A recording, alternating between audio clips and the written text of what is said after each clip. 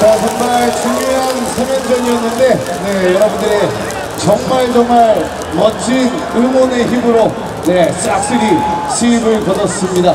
아, 너무나도 감사드리고 수고 많으셨습니다. 자, 특히 오늘 뭐 비가 와서 계단 굉장히 미끄러우니까 운동관의 주의를 좀 부탁드리고요. 오늘 또 늦은 시간까지 함께 승리를 응원해주신 모든 분들에게 다시 한번 감사 인사를 드리도록 하겠습니다. 자, 그리고 오늘도 함께 해준 우리 치어리더 응원단 스태프들에게도 네, 비바리 팀에서 수고했다고 감사드리겠습니다. 자, 우리 타이거즈 1위 굳건히 지켜내고 있습니다. 우리 선수들 마지막까지 야구할 수 있도록 끝까지 응원 오늘처럼 멋지게 부탁드리겠습니다. 오늘 정말 수고 많으셨습니다. 지금까지 타이거즈 응원단 응원단장 서한국이었습니다 감사합니다. 수고하셨습니다.